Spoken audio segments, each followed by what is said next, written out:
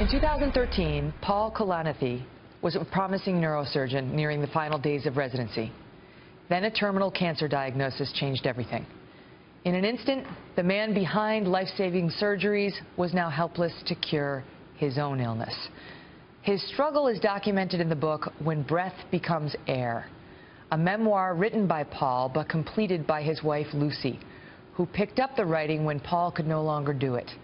And what a message they share. In just a moment, we'll speak with Lucy about her life with Paul. But first, we go to Trace Gallagher for more on their incredible story. Trace?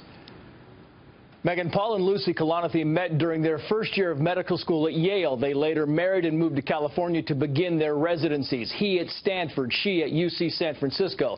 In the book, When Breath Becomes Air, the Kalanithis acknowledge that before the diagnosis, their marriage was struggling. When Paul realized he was sick, he writes, quoting, We sat on the couch, and when I told her, she knew. She leaned her head on my shoulder, and the distance between us vanished.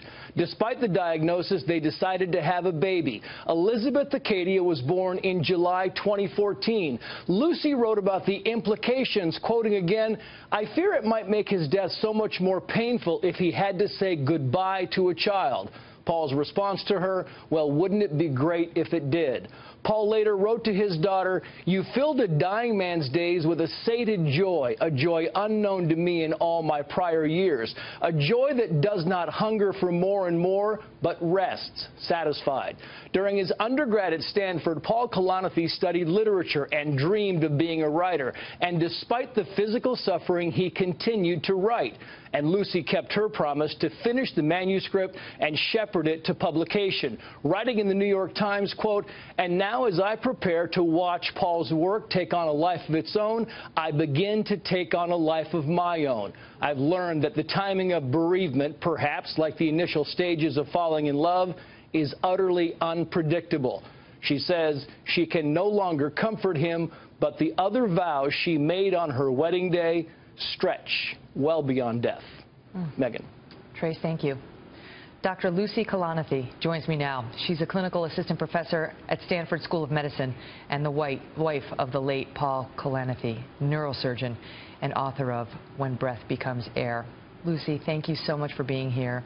It is such a beautiful story and so powerful in so many ways, giving everyone thoughts about life and death and what we're doing here and Paul's search throughout his whole life for the meaning of life and of death. Did he find it? You know, I was talking with a friend of Paul's recently who said something I really loved. He said, I think that Paul felt the struggle to find meaning is the meaning. Um, and I kind of think that's true, and I love it.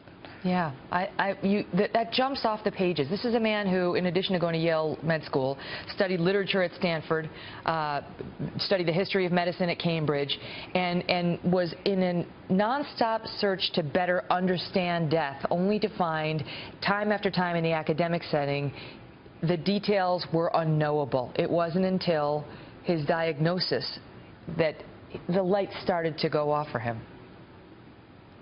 Right. Um, you're right. He's, he was really interested his whole life in mortality as sort of an intellectual, philosophical problem. And then he wanted to grapple with it. So he entered medicine to be a doctor.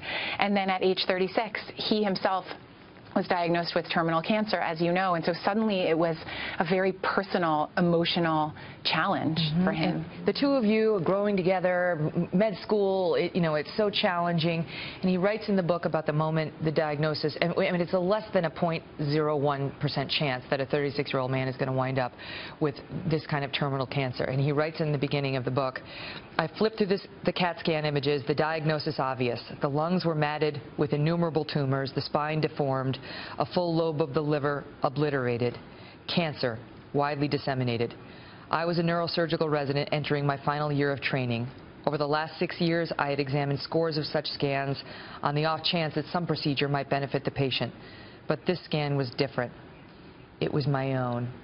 And even you, a trained doctor yourself, looked at him and asked, do you think there's any possibility it's something else?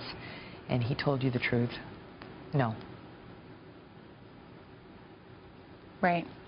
I mean, Right, I really remember that moment because we looked at the scan together. Nobody delivered the news slowly. We we were both doctors, and so we pulled up the CAT scan and looked right at it, and we could see cancer throughout his organs and his spine. And um, one of the first things Paul said was, he said, "I want you to remarry," and it was so beautiful and surprising and an immediate recognition of what we would be facing and the fact that we each wanted to help each other through all of it. He writes about how he talked with his Mhm. doctors many times about, he, because this is, you know, he was on the top of the top of the top of the heap. I mean, the, the, the best, most promising neurosurgical uh, do, resident and then doctor they had. And so he wanted to continue working and yet wasn't sure if this is what he should do with his time he had left because he also wanted to write. Uh, but you talk about how, how much he, he worked in the book, saying he worked tirelessly to secure my future and I worked tirelessly to secure his present and even to the point where you you finished the book for him. Initially, he went back to work, and then he became too ill to do brain surgery, and he started writing, which was his lifelong dream. And he died while he was working on the manuscript for When Breath Becomes Air. And I wrote the epilogue to the book, and I, don't consider myself a writer, but it felt like an urgent, important thing to describe how Paul died and then to reflect on his life and, and what's been going on since. Mm-hmm. The way he died is oddly inspirational. I, I mean, usually we say the way he lived, but the way he chose to die and handle his dying somehow makes you a little less afraid of it and somehow inspired by him. The way you put it when you wrote the epilogue was this. For, so, for much of his life, Paul wondered about death and whether he could face it with integrity. In the end, the answer was yes. I was his wife and a witness. Yeah, um, I'm so, it's so lovely to me to hear you um, describe your experience of reading the book. And you're right, at the end of his life, Paul faced a really difficult choice about whether to prioritize quality of life or quantity of life. And people write to me and or tweet at me, and it all feels like a eulogy or a condolence letter or this really personal connection with people over what Paul's decisions and writing meant to, to them in their mm-hmm. lives. Well, I have been personally inspired, and I know my team here feels the same. I'm so grateful that you shared his story, that he did as well. What a parting gift for us all, especially little Cady. God bless you. Good luck to you.